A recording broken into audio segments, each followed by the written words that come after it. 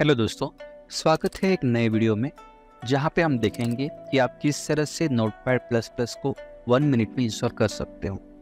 तो चलो स्टार्ट करते हैं। तो सबसे पहले आपको सर्च करना है पावर शेल मैं सिंपल यहाँ पे पावर शेल सर्च करता हूँ और इस पर्टिकुलर आइकॉन पे राइट क्लिक करके आप रन एंड एडमिनिस्ट्रेशन पे क्लिक करो। उसके बाद आपको यूज़र अकाउंट कंट्रोल का एक डायलॉग बॉक्स दिखाई देगा। आप सिंपल उसके ऊपर यस करो। उसके बाद पावर की विंडो ओपन हो जाएगी। अभी मैंने यहाँ पे कुछ कोड लिखा है तो एक कोड मैं डिस्क्रिप्शन बॉक्स में और कमेंट सेक्शन में दे दूँगा। आप वहाँ से भी इसको कॉपी पेस्ट कर सकते हैं। मैं सिंपल इस पर्टिकुलर कोड को कॉपी कर लेता हूँ और यहाँ पे पेस्ट कर देता हूँ।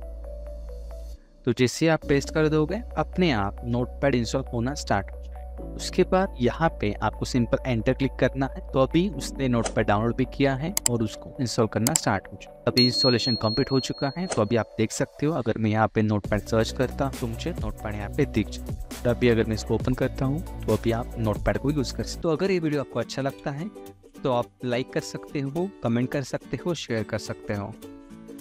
तो मिलते हैं नेक्स्ट वीडियो में। तब तक के लिए गुड बाय, टेक केयर।